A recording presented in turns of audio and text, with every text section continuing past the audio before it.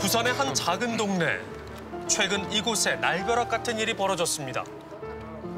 40년 가까이 이용하던 미용실 문이 굳게 닫힌 건데요. 어우, 40년 여주인 역시 사라져 버렸답니다. 동네는 사라진 여주인 이야기로 난리가 났습니다. 안녕하세요, 사장님. 안녕하세요. 거의 거 산다는 저 많이 가니까 많이 넣지. 동네 분위기에서 어수선해도 뭐 어쩔 수가 없잖아 지금 답이 없는데. 신문에 났다 아닙니까? 신문에 났으니까 이제 그거는 믿어버리니까 우리가 한 20년 살아도 그러는데도 저리 하니까 믿어지겠어요. 사람은 그렇게 한길 사람 속 모른다 이랬지. 지역 신문에 보도될 만큼 미용실 여주인의 잠적은 동네에선 큰 사건이었습니다. 미용실 문이 닫힌 지 두 달째. 대체 그녀에게 무슨 일이 있는 걸까요?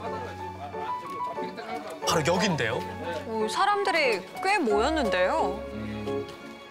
아니, 아 그래도 아직도 좀 먼지가 그렇게 오래되지는 않았는데. 예예 그래. 이제 뭐 이제 하겠죠 한달 한 달, 조금 한달 넘었네. 한 달 조금 넘었네. 그러니까 물건이 그대로 있지. 아, 그러니까 그날 그날 저녁에 12월 20일 날 밤에 잠수 타풍행이라. 밤에 밤에.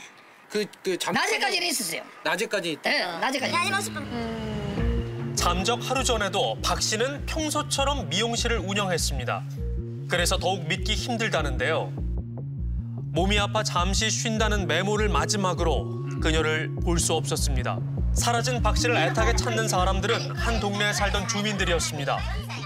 그 할머니한테 돈이 연거품 물린 게 6,500이 물렸어. 아이고. 내 지금 신랑 병원 가려고 틈을 말하는 그거 지금 넘죽 거라니까 내 지금 신랑 아빠 집에 금액이 4억 4억 7,500 그러니까 좀큰 정금액이고요.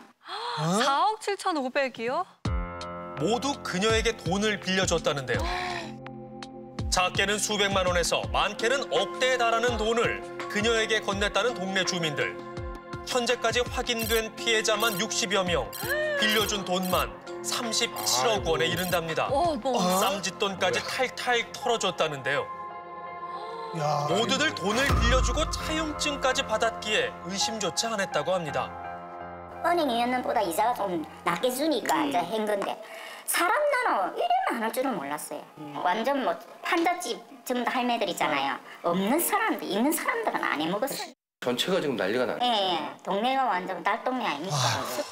그 여자가 완전 쓰기를 한 거지. 잠적한 당일 피해자들은 사라진 박 씨를 경찰에 신고했습니다. 그리고 지금까지도 다른 피해자들의 고소장이 접수되고 있다는데요.